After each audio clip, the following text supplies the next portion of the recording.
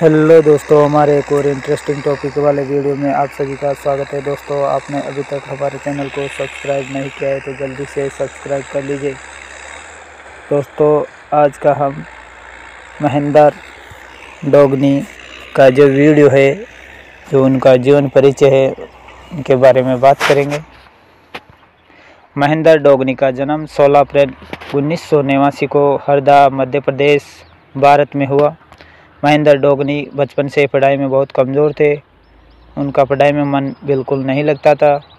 कक्षा आठ तक जैसे तैसे करके पास हो गए, लेकिन कक्षा नौवीं में फेल हो गए और उनके नए स्कूल का नियम था कि यदि कोई बच्चा फेल हो जाता है तो उसे स्कूल से निकाल दिया जाता है।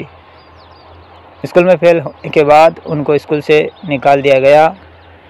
इनके स्कूल का नाम एक्सीलेंस स्कूल नाम था। इसके बाद इन्होंने डिसाइड किया कि वह अब आगे नहीं पढ़ेंगे, लेकिन उनके घर वालों ने कहा कि तुम्हें पढ़ना होगा और कक्षा नौवीं में ही फिर से पढ़ना होगा।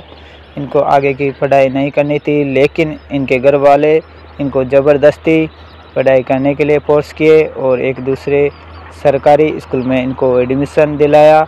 उस स्कूल में भी बहुत अनुरोध के बाद इनको एडमिशन मिला था। क्योंकि स्कूल वालों का कहना था कि जब ये एक्सीलेंस में फेल हो गया तो यदि हम इसको एडमिशन देते हैं तो हमारे स्कूल का नाम खराब हो जाएगा। जब इनका कक्षा नौ में एडमिशन हो गया तो इन्होंने ठान लिया कि अब मैं पूरे मन से पढ़ाई करूँगा, इसके अलावा मैं कुछ नहीं करूँगा।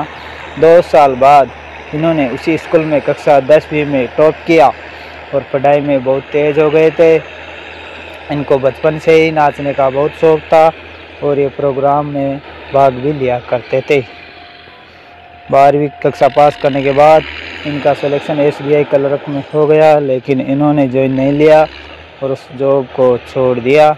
जिस इंस्टीट्यूट में ये तैयारी कर रहे थे, उसी इंस्टीट्यूट में इनके गुरु एक मोटिवेशन प्रोग्राम करने वाले थे और बच्चों को सिखाने वाले थे।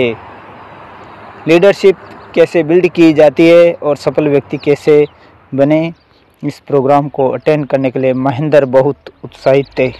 लेकिन प्रोग्राम शुरू होने से पहले ही उनके गुरु ने बोला कि, महेंद्र, तुम नीचे चले जाओ, क्योंकि यहाँ जो भी बातें होंगी, वो बहुत ऊँची लेवल की होने वाली है, जो तुम्हारे बस की नहीं है। वो नीचे गए और खूब रोए कि उनको ऐसा क्यों बोला गया। इसके बाद वह घर गए और फिर कभी इंस्टीट्यूट में नहीं गए। इंस्टीट्यूट छोड़ने के बाद वो घर पर उदास रहने लगे और ज़्यादा दिन बेर सोने लगे। एक दिन वो घर छोड़कर भाग गए और बाहर जाकर कॉल सेंटर में काम करने लगे। वो दिन में गैरेज में काम करते थे और रात को कॉल सेंटर में काम करते थे। एक साल तक खूब रात दिन काम किया और उनकी हालत इतनी ख़राब हो गई कि एकदम दुबले हो गए और उनका सेहत ख़राब होने लगा। इसके बाद वो सोचे कि इधर मरने से अच्छा है कि अब मैं घर चला जाऊँ। इसके बाद वह घर लौट कर आ गए।